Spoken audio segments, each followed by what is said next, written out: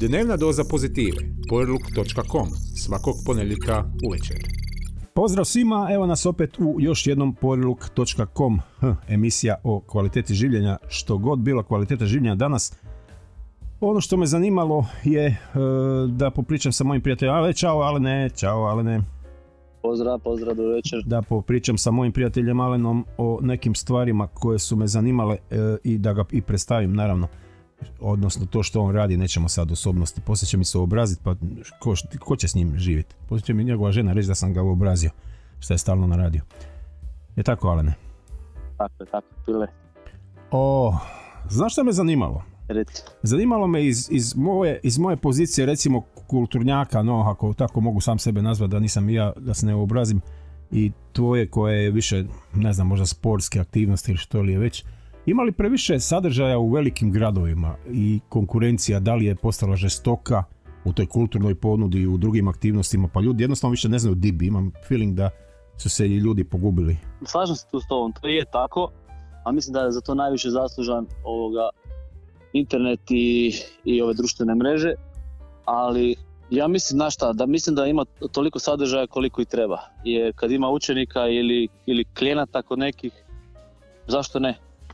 Dobro, to je istina, ali onda, onda se pitam što je s manjim mjestima, znaš, ako je Zagreb, Rijeka, Split, eh, gdje ima puno ljudi pa se nekako svi negdje uguraju, a ovaj, da li onda pate manja mjesta i otoci, recimo gdje se mnoge aktivnosti u biti ne isplate ako nema dovoljno polaznika? Da, mislim da pate, mislim da da. Ali mislim da treba i možda razmisliti na, o načinu da ljudi koji vode te, ta mjesto da možda ponude nešto ljudima koji bi došli tamo i nešto predstavljali kvalitetno i radili. Aha, misliš na ljudi koji vode gradove, mjesta, općine, no? A da, da. Da bi trebali omogućiti možda lakše, lakše odvijanje aktivnosti. E, kako je pa tvoje iskustvo s tim, sa manjim mjestima? Idete li vi okolo ili ste samo bazirani na... na... Mi već e, kao udruga, postoji, udruga kao Rijeka postojimo od 2007. godine i radili smo svašta, bili smo svugdje. Imali smo, vodili smo treninge i u malim mjestima, pa mogu ti reći e, u vratima i to je trajalo na dvije, tri godine. I na kraju ti se uvijek ispostavi to da ljudi uvijek bude, znači uvijek bude ljudi i uvijek bude gušt dolaziti ali s druge strane ti uvijek bude problem taj što ti to iziskuje e, puno vremena, puno e, troškova, jednostavno se ne isplati. Da. Nažalost, nažalost. Sve na kraju po novčaniku ispada. Znam, da. kažem, evo, da. to te pitam zato što je slično nama isto sa nekim aktivnostima koje spadaju pod kulturu, a dobro, imam ja i nekih drugih aktivnosti koje radim. Da. Tako da ovaj, stvarno ukoliko nije e, u mjestu dobra, dobra vibra da te pomognu da nekako da. žele zaista da se to desi, da, se onda to vjerojatno neće ni desiti, osim možda jedan put, dva put ili, ili moraš propatiti, proplakat. A da li imaš možda neke, neke članove koji ti e, vježbaju ili su vježbali, recimo da su bili na faksu u Rijeci i tako, pa da su sad na Rabu, na Krku ili negdje, pa da, da oni e, mogu voditi priču dalje?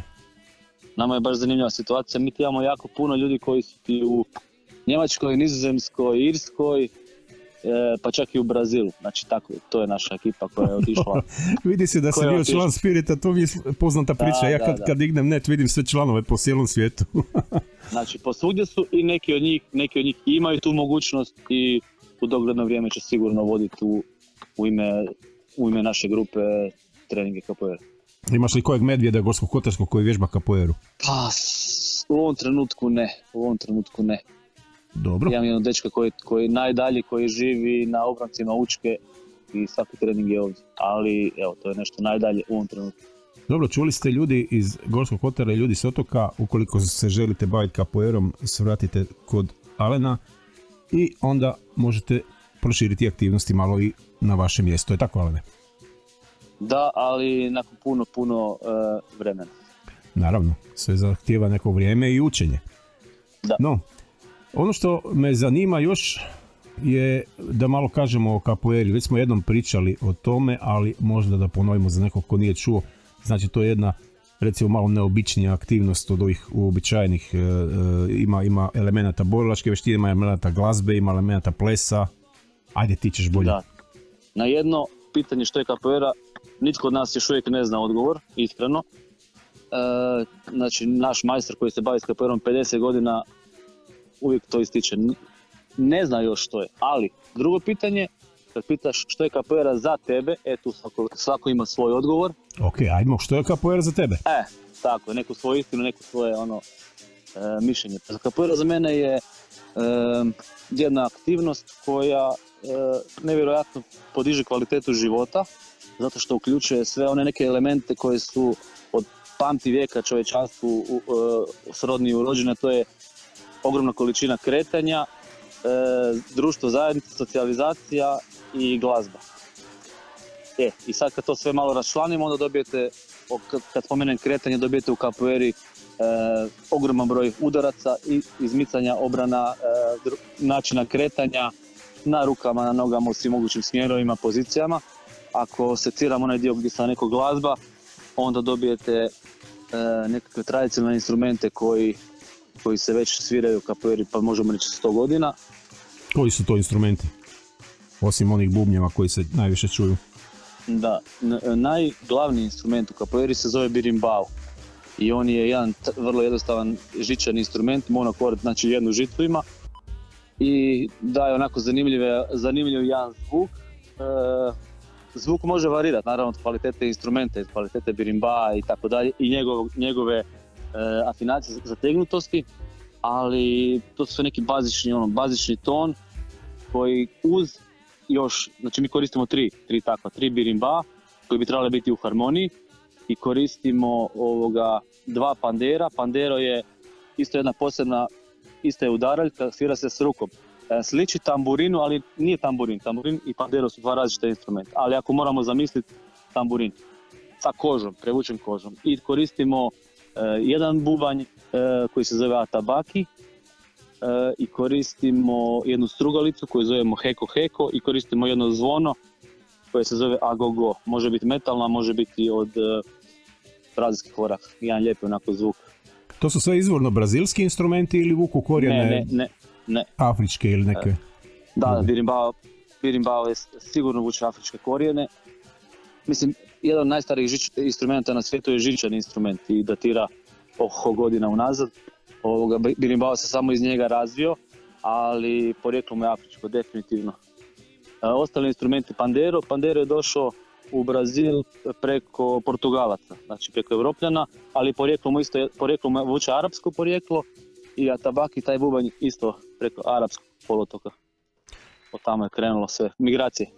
Dobro, Ane, evo sada ćemo mi malo čuti kako to sve zvuči, pa ćemo još malo objasniti zainteresiranima kako izgleda ta kapoera koju Alen vježba i vodi.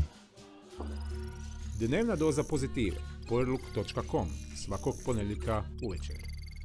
Evo nas još uvijek u poruk.com, sa mnom je Alen, Alen je iz Capoeire, Capoeira klub iz e, Rijeke, e, neću reći ono tvoju kobasičastu rečenicu jer ja ne znam ponoviti, to ćeš ti reći Capoeira, di nešto reci. Capoeira Bera Durio je ime naše kluba. E, to. E, to. to mi se nalazi, naša škola u stvari, to je naša škola, mala škola, nalazimo se u pothodniku na piramidi. Za starije generacije, za najstarije generacije bivši Gansi, a za one malo, malo mlađe XXL, dakle pothodnik piramida.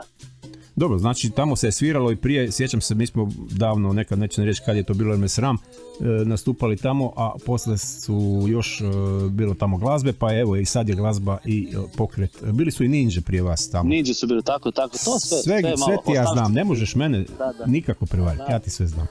Dobro, ovoga, ono što sam ti htio reći u prošlom, prošlom bloku si spominjao udarce. E, zanima me, s obzirom na to borilačka vještina, a nije u biti tu naglašen udarac, koliko se tamo dobije batina? ok, znači udarac je jako naglašen, udarac je jako naglašen, samo što udarac, taj udarac ima svoju metu, ali, ali je ovoga, isto tako e, ovom suigraču, jer kapoeiri moraju, moraju, moraju biti dva. Znači, A dobro, ne, ne, ne možeš tući sam, neki mogu, ajde. Ali... Ja, ja, neki mogu. Uglavnom, suigraču, suigraču je E, e, on uči e, eskivirati te udarce, znači izbjegavati te udarce. Dobro. I to je ono, znači vješti onaj koji zada, koji zada vrlo precizan i vrlo konkretan udarac, a još je vješti onaj koji, taj, koji se izmakne od tog udarca. Dobro, da li su to zaista pravi ozbiljni udarci ili su to pravi, fake udarci? Pravi ozbiljni, znači možemo reći kako kad, evo najbolje kako kažemo, kako kad, jer svaka igra, kako je igra, svaka igra je priča za sebe. Može biti ono agresivna, može biti pitava, može biti prijateljska, može biti e, opuštajuća, može biti ovako i onako. Ako oba dva pristanu na takvu igru gdje će se razmenjivati udarce koji će završavati po tijelu, onda trebaju biti jako vješti u tome jer to su stvarno razvorni udarci i ne želiš da se to pogodi. Dobro, ali ti prošli put ste mi objašnjavali da u biti ovo nema sustav natjecanja i sustav tog nekog e, agresivnog karaktera, no? Da, ali mi to ne gledamo kao nešto agresivno, nego gledamo kao ono, snađi se druže. Znači, vješti je onaj koji, koji se može izmaknuti, koji, može, koji, koji je lukavi, koji je spretni. Ja, Dobro, tako u krajnjoj liniji kao i u životu. Ono što me je zanimalo u biti, zašto to pitam? Zanimalo me koja je razlika između, između konkretno uh, treninga capoeire i treninga recimo kung fu ili ninja ili karatea ili nečeg sličnog. Ovako, znači prvo moramo napraviti razliku ako pričamo o sportu ili pričamo o nečem drugom, a to nešto drugo su, se zove borilačke vještine. Kad imamo sport, onda imamo, onda imamo sustav, onda imamo natjecanje, onda imamo pobjedike, onda imamo kategorije i onda imamo uh, cijelu tu atmosferu gdje moraš biti uh, brže, više, jače. Kad imate, vješti, tako, kad imate vještinu gdje nije važno biti uh, najbolji, najjači, najbrži i imati taj olimpijski duh i biti ne znam šta sve naj, nego je najvažnije da e, pobjediš samog sebe, eto, najjednostavniji. Najjednostavniji, najkompliciraniji odgovor, pobjedi samog sebe. U kojem smislu? Pa budi bolji, budi bolji od e, svoje prethodne verzije prošli trening. Budi malo kvalitetniji, budi malo, daj malo više od sebe, jer ćeš napredovati u svakom pogledu, u svakom. A mi se stvarno ono, e, baziramo da bude e, napredak koji je e, bazić, koji, je, koji ima dobre temelje i koji je dugotrajan. E, vi imate i klince, znači da nije to toliko ni opasno ni učite ih nekim drugim normama nego, nego što bi sad ispalo iz ovog našeg razgovora. Upravo tako. Znači mi ih učimo suprotno natjecanju, suprotno pobjedničkom duhu, suprotno znači trudimo se da ih, da ih učimo ono, neke životne vrijednosti, univerzalno dobre i učimo ih tome da se trud, najviše ih učimo da se tome da se trud isplati i to nekako tako pokušavam funkcionirati. Da oni znaju da ako se trude da će se to isplatiti. A isplatit će se na način da će e, proputovati možda pola Europe e, kapoeru, da će upoznati nebrojeno mnogo prijatelja, da će razviti nevjerojatno dobro svoju socijalnu mrežu i na kraju krajeva razviti se kao čovjek. Plus naučiti novi jezik, dobiti neke vještine koje mu zaista u životu trebaju, jedan zdrav život, tema bolje od toga. Dobro, rekao si da tu nema natjecanja, ali sustav nas uči od malih nogu na natjecanje, e, od škole, od vrtića, od okruženja, bilo što što radimo je nekako natjecanje i svi moramo biti bolji jedno od drugoga, po cijenu čak i da tog drugog polomimo, što je u biti neka ostavština plemenskog sustava, preživljavanja. Znamo li mi uopće bez natjecanja? To je toliko ukuprenje u našem društvu, a i što ti kažeš, ono još potiče iz plemena, tako da bez toga mislim da čak i ne treba bez toga, neka toga i bude, samo neka toga bude na način da, da ovoga, da čim god da se baviš da ne ozljeđuješ sebe, a ni druge, da nikoga ne... Dobro, to je taj sportski način gledanja, znači to je ono što ja ne sporim, znači ja ne sporim taj sportski način natjecanja, ali znaš dobro na što mislim, natjecanje je ovdje u našem društvu ostalo nešto što je ono ili ja ili ti ne možemo oba dva preživjeti. To nije sportski duh, to je ratnički duh. I to, nije sportski duh, tako vrlo, je. Vrlo zastarjeli ratnički duh. Ne bi ja to nazvao ni ratnički duh, to je ono, kad vidim takve borbe bez kodeksa, borba bez kodeksa, evo ti. Da, da, da, točno. Jer u biti imaš pravo, ratnici kad gledaš i čak i ovi najviše istočnjaci, a i vitezi su imali neki kodeks koji je kodeks, poštovao protivnika. E, Tako koji da... se izgubio danas u našem društvu, to je problem de facto kad ne poštuješ protivnika ne poštuješ ni sebe ako je a ne poštuješ. Ako je on na podu, ne, ne vidim šta je tebi tako onda dobro skakati po njemu. Nije pa na šta, ono, pa e, milion, milion dolara ti je zanimljivo za one profiće, a za ostale ne znam što, evo, ne znam. Da. Ono što me zanima koliko se djeca nauče bez natjecanja tog pod navodnicima natjecanja, jesi li onda ranjivije u stvarnom društvu ili e, vi možete kroz to normalno sportsko natjecanje dati nekakav, nekakvu smjernicu da se oni mogu kasnije u društvu zaista snaći. Tu sve kreće od odgoja, a, a odgoj kreće od kuće.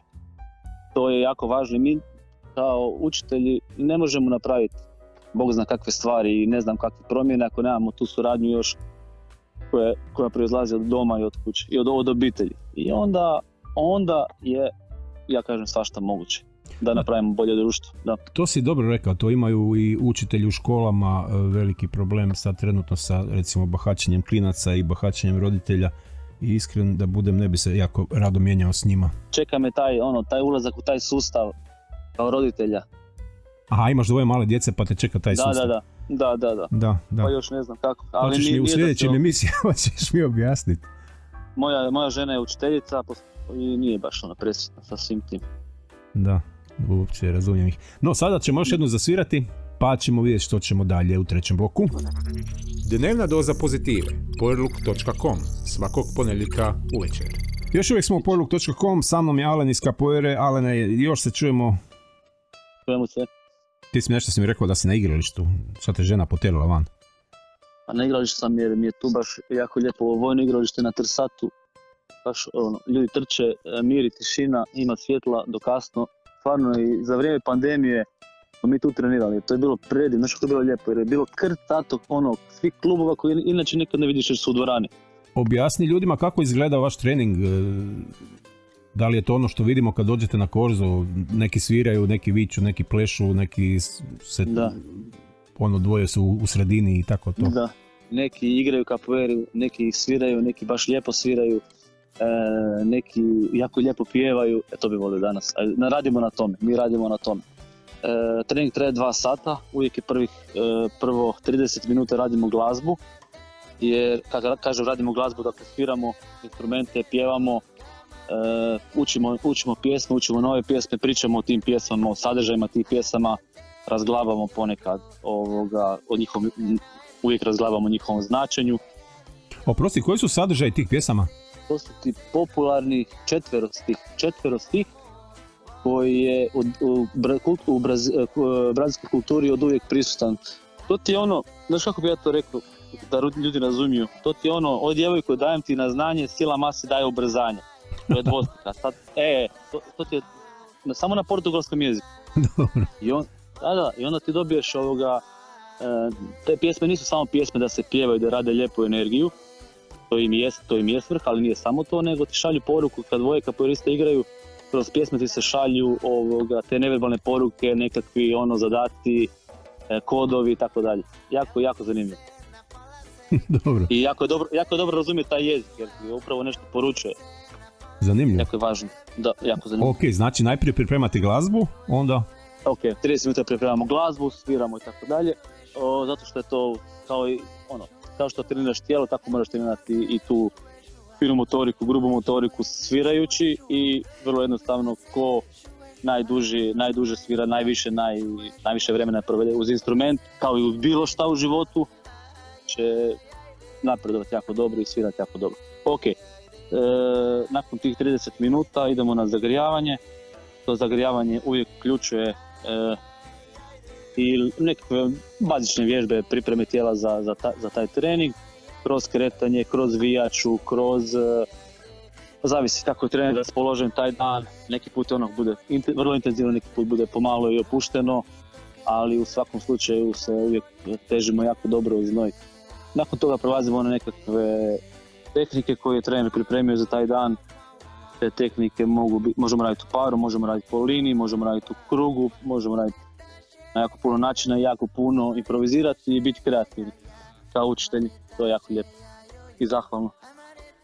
Dobro. I na kraju, ok, i na kraju ponekad imamo vrhunac svega, vrhunac svega što, zašto se mi treniramo je da dođemo u hodu, kapoeira hoda je onaj krug što ti vidiš na korzu, Mhm. ovoga, to je kapoeira hoda koji čine, koji čine kapoeiristi koji, koji tamo postoji jedan orkestar, to, to su ti instrumenti, to se zove baterija, taj orkestar svira i dakle daje, nama je u interesu da podignemo energiju, dakle da napravimo dobru, dobru kvalitetnu energiju koja se zove aše, koja je ekvivalentna e, na istok čiju. Znači nama je u interesu da podignemo dobru tu energiju, da bi ove dvoje koji idu igrati kapoeru e, mogli dati najviše od sebe Mhm. univerzalna stvar, skroz univerzalna stvar. Dobro, zvuči E, zanimljivo. da, da. Reci mi, e, da kažemo isto koliko je neka dobna granica učešća i kakve su općenito nekakve granice. imamo dječju grupu gdje je donja dobna granica je e, 5 godina, dakle od 5 do 11. Od 5 do 11 se mogu djeca zadržati u toj dječjoj grupi, a onda prelaze u grupu koja je već ono, od tineđera kreće do, do najstarijih članova. E, kriterij, neki kriterij je da ljudi jednostavno ako možete hodat, ako se možete kretat, znači nije neki veliki, ako možete se kretat, ako mislite da možete odraditi neki fizički trening, a znate da možete, onda se nemojte čega bojati i misliti, aj kako je to teško, a šta ću ja, a kako ću ja. Ono, najjednostavnije da je, da je kažem što uvijek ponavljam, da je na početku sve, sve teško dok ne postane lagano. Tako i kapoeira i ne treba vam tu puno nikakve spreme fizičke, ni pripreme, ni ne znam ja kako ono pedigrea, ni, ni ne znam čega. Dođeš i budeš, dođeš, dobiješ upalu mišića, ogromnu upalu mišića dobiješ, prvi trening, drugi trening, treći trening, već se to smanji, sljedeći tjedan kreneš trenirati, više nemaš tako jake upale, upale se pojavljuju jer naravno da koristiš mišiće koje nisi koristio još nikad u životu. Nisi ni znao da ih imaš. nisi ni znao da ih imaš, tako je. A i sve što ti treba je, ono, budi dosljedan i dolazi na svaki trening. I ti ćeš napredovat i dobit ćeš najbolje što možeš dobiti za sebe od KPR. Ono što mi se sviđa da je zaista dobra ekipa, ono svi koji sam upoznao baš su neki super veseli, tako da vjerujem da je na treningu. Nisam bio na treningu, ali ono što sam vas vidio mi se čini zanimljiva ekipa i eto. I tu se slažem, slažem s to, nama je sad ekipa onako više mlađa, tineđerska, što je ono, stvarno predivno iskustvo i rada s njima i, i napredga, ono, obostranog napretka. A ovoga, puno ljudi koji su kroz kapoeru prošli, kroz našu grupu, a stvarno ja ti mogu reći da je to bio broj, a ne bi lago da ti kažem da je već tu možda tisuću ljudi prošlo. Ovaj, imamo jako, jako puno prijatelja posuda, dakle ono zaista posuda ono, po, po cijelom svijetu koji su vezani za kapoeiru na ovaj ili onaj način. I to je naj, ono, stvarno jedno veliko bogatstvo. Gdje, gdje god dođem u bilo koju zemlju, uh, uvijek ću naći kapoeiristu i ono, mogu se dogovoriti za smještaj, mogu se dogovoriti za, da ti pokaže grad. Jedna velika ono, međunarodna obitelj. Dobro, evo ljudi, nadam se da smo vas zainteresirali malo da vidite kako je to e, vježbati kapoeru. Uh, Alene, hvala ti. Uh, ja ću napisati sve vaše podatke, daćeš mi web stranicu i sve na poveriluk.com gdje će biti okačena ova emisija. Tako da mi se možete javiti i ako želiš još nešto reći za kraj, evo imaš priliku jer smo ispunili našu normu vremensku za emisiju. E, pa ništa za kraj bi ti rekao Pile hvala. To uvijek nekako otvoriš nam prostor da kažemo neke svoje misli, misli i, i, ovoga, i želje. E, a za vaše, tvoje slušatelje, e, ako ih zanima kapoeira i voljeli bi doći pogledati, imamo mogućnost, imaju mogućnost 17. 17. drugog, to je subota od 10 do 13 sati, znači kod nas u pothodniku dole na piramidi, u našem, u našem prostoru. Štrosmarova 25A. Imamo, baš držimo jednu radionicu e, a za početnike ili za oni koji su već neko vrijeme u kapoeri, ali može biti za početnike, može biti nekoga, za nekoga da se inspirira, može biti za nekoga da uzme neke elemente pa i koristi za neke svoje stvari. E, tema, tema će biti, naglasak će biti na glazbu. To znači da ćemo koristiti ovoga instrumente i glazbu i pjevanje, ali svakako ćemo se kretati i a za one koji možda ne stignu ili ne žele ili ne mogu, e, mi imamo treninge svaki ponedjeljak, srijedu i petak od 19 do 21. Samo pošaljite poruku i nazovite, najavite se i možete doći u bilo koji, bilo koji termin i krenuti sa kapoeirom.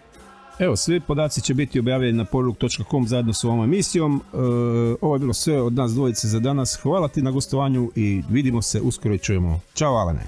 Pa, hvala. Dnevna doza pozitive. Poruk.com svakog ponedjeljka uvečer.